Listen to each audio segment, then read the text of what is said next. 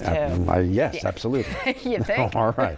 Let's get the AccuWeather forecast. The snow is out. The cold is in. And baby, it's cold out there. Storm Tracker 6 live double scan showing that we are drying out pretty nicely. We do have one little streak of flurries across Cumberland County. Actually, lake effect flurries showing just how strong the winds are that we're seeing a little bit of that lake effect snow activity surviving the long trip from the Great Lakes. And this is why wind gusts right now 22 miles an hour in Philadelphia.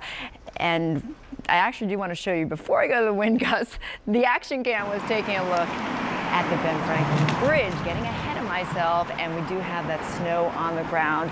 Center City about 2.8 inches of snow, certainly an underachiever as far as the snowfall for Philadelphia areas to the south because it was so fast moving, but the winds are really overachieving. Right now, the wind gusts in Philadelphia 22 miles per hour. Cape May earlier today, 60 mile an hour wind gusts. They've diminished somewhat, but still 28 miles per hour. So the wind chill right now makes it feel like 14 in Philadelphia, 11 in Allentown. Yesterday, Wilmington was in the 70s. Feels like 11 right now. Feels like 8 in Atlantic City and 6 degrees below zero in the Poconos. So satellite 6 and action radar showing that storm system long gone, bringing more than a foot of snow to parts of New England. Skies are clearing behind the system, but temperatures are tumbling. Shouldn't be any problem on the main roads tomorrow, but some side streets could be some patchy black ice, so do be careful. At 6 o'clock, 15 degrees, 8 o'clock, 17, but wind chills will be in the single digits. We start the day with loads of sunshine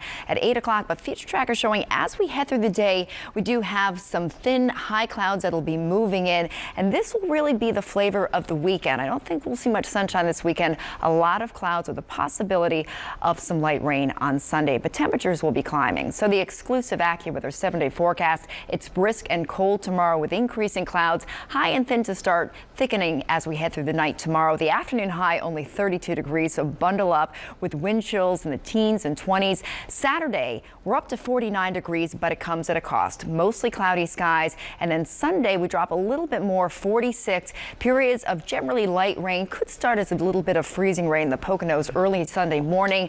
Monday, behind the system, it's windy, partly sunny, 47 degrees.